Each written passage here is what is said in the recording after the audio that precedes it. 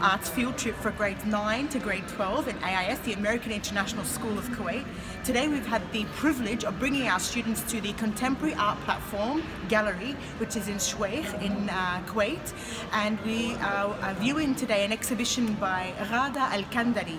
The exhibition is titled Until, and today we traveled on a bus with all the visual arts students in grades 9 and 12 in my classes to view this exhibition. Let's go, I'll show you what's happening inside that Ghada Al-Kandari is actually here speaking to the students about her art, her concepts, her process, her techniques, and her life as an artist.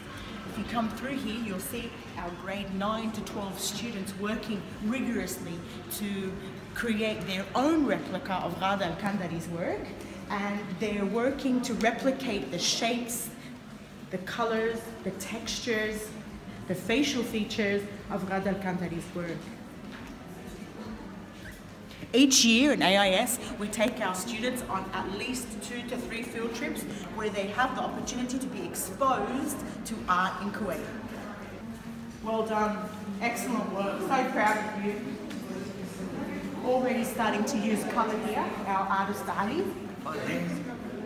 Excellent work. And we'll go over to Ghada and see what she's doing.